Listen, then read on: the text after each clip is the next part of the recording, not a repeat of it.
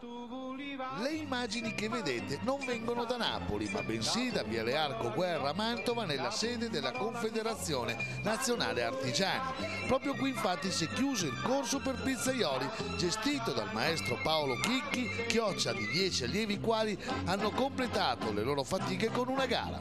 Da semplici appassionati, disoccupati, uomini e donne hanno messo cuore e anima per imparare una nuova professione che un giorno li potrebbe dare da vivere. Il primo giorno di corso loro facevano già la pizza, la sera riuscivano già a fare la pizza e quindi questo mi ha stimolato a, a dare di più.